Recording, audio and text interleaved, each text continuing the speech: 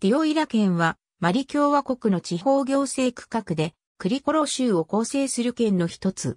行政の中心地はディエドゥグーのディオイラに置かれる。下級単位のコミューンは23団体あり、2009年の統計で人口は24万9403人を数える。ディオイラ県はクリコロ州の南東部に位置し、1977年以前まで複合県であるバマコ県として首都を要する地方自治体であったが、現在はそれぞれバマコ特別区、カティ県となっている。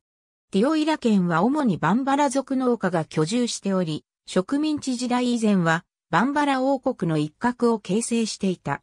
この地方の特質のため、アニミズムは20世紀に入っても根強く信仰されている。ムスリムであるマルカ族やフラニ族に漁業を営むボゾ人の集落もある。県は主に湿潤な歴史上のスーダン地域に属し、サヘル乾燥地帯の南端にある。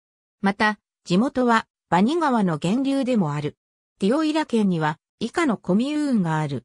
ありがとうございます。